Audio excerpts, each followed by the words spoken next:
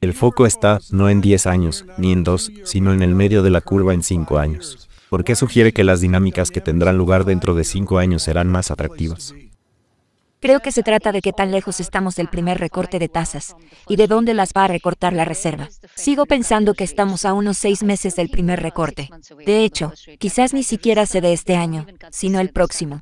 La Reserva está muy enfocada en la inflación. Busca una ralentización, así que creo que habrá un poco de retraso. Pero una vez que comience a reducir las tasas, creemos que será por mucho más de lo que cuestan. Es decir, la fijación de precios del mercado está en lo que llamamos tasa mínima, en el punto final de esos recortes en el 3%, lo cual es más alto que la tasa neutral estimada por la Reserva. Los mercados no fijan precios en base a una recesión. Los precios de los mercados están en un nivel normal. Creemos que habrá recesión debido a los estándares de los préstamos bancarios y al efecto retardado de las subidas de tasas a medida que se agota el colchón de ahorro de los consumidores. Incluso podría haber presión fiscal. Creo que la única forma de lograr un acuerdo sobre el límite de la deuda es consiguiendo esa presión. A medida que la economía se desacelera, creo que la Reserva recortará mucho más.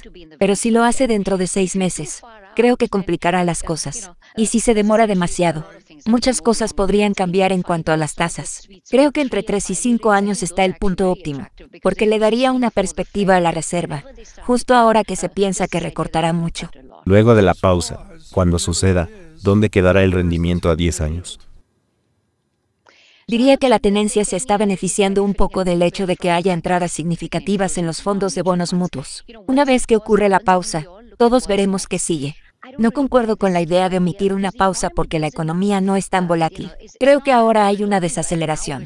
A medida que comience a suceder, creo que perderá impulso muy rápido. Así que no creo que haya una pausa para que luego se reanuden los recortes, ni que la reserva se enfoque en cuándo ocurrirán. Hacia fin de año, creemos que estarán por debajo del 3%. Y en dos y medio el próximo año, la tenencia también se moverá. Me gusta más pensar a cinco años, porque es más sensible a los datos económicos.